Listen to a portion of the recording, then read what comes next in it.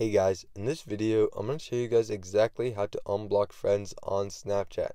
So it's really easy to unblock people on Snapchat, so I'll show you guys exactly how to do it in this video today. You might have had a falling out with your friend or something, so you blocked them, but then you guys got back on good terms, so you want to unblock them. I'll show you guys exactly how to unblock them in this video today. So first things first, head over to your Snapchat app. Once you go to your Snapchat app, you want to go to your chats, and as you can see, your the people that you blocked won't show up anywhere in the chats option here. So what you're going to want to do, you want to click on your profile picture in the top left corner. You'll be brought to this page here.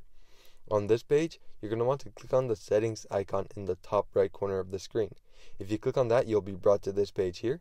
And on this page, uh, you're going to want to, and first things first, if you want to add me on Snapchat, it's 2Basa Tech, and there's the QR code and everything if you want to add me. But click on the settings icon once again in the top right corner and once you click on that you want to scroll down until you see the option for blocked. So uh, looking around it might be at the very bottom of your screen but it also might be in privacy controls. In privacy controls so the option that says blocked users. So you want to look for the option that says blocked users and if you click on it you'll see everybody that you've ever blocked. Uh, everybody that you've ever blocked will be in here and if you want to unblock them you just have to click on the X all the way to the right of their name and it'll ask if you want to unblock them and you just click on yes. It's really easy to unblock people once you get here.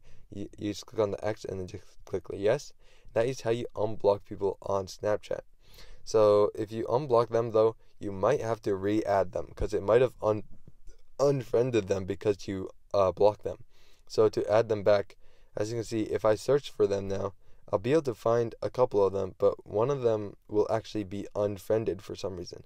If I search 2Basa Tech uh, Basa Tech 1, then as you can see, uh, that was one of the people that I blocked, but now they aren't my friend anymore. The other two that I blocked, though, they are still my friends, but you might want to make sure that they are still your friend after you you've unblocked them, because for some reason it might have glitched and unfriended them. So that is how you unblock people on Snapchat. So I hope this video is helpful. If it was, I'd really appreciate a like and subscribe. Leave any questions you have in the comment section below. I'll do my best to answer them. And I'll see you guys next time.